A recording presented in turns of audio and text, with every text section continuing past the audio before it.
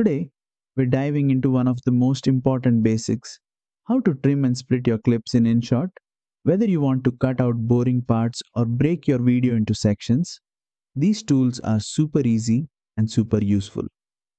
First, open the InShot app and start a new video project. Import the clip you want to edit from your phone's gallery. Once it's in your timeline, tap on the clip to make sure it's selected. You'll see a white border around it.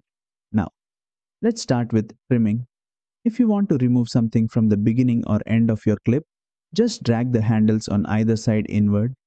You'll instantly see the clip getting shorter in the timeline, and you can preview the change in real time above. Next up, splitting. This is perfect when you want to break one clip into two. Just move the playhead to the exact spot where you want the split to happen. Then tap the split button from the bottom toolbar. Your clip is now divided into two separate parts that you can edit individually. And if you make a mistake, no worries. Just tap the undo button at the top of the screen to go back a step, and that's it. You've just learned how to trim and split clips in InShot.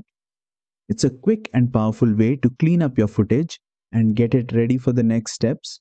If you found this helpful, don't forget to like, share, and subscribe for more easy InShot editing tips.